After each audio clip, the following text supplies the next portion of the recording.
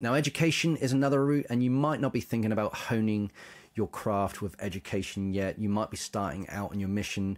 Uh, you may have only been playing a little while, but look, seek out online resources, seek out online courses, seek out tutors.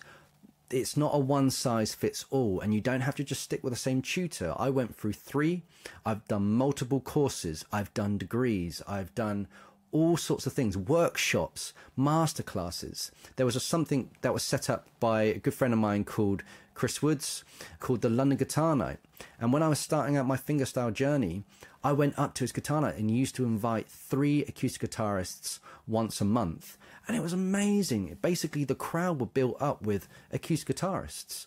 And we all became this community that when we come together, there was no rivalry or anything like that we were all championing each other and we were, you know, it was just a group of love, really.